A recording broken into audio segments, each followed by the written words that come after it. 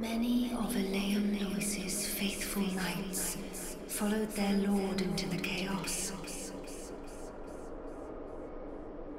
But not one of them returned.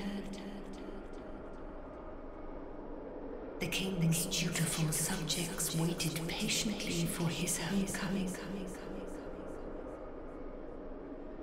But it was too long a wait to bear.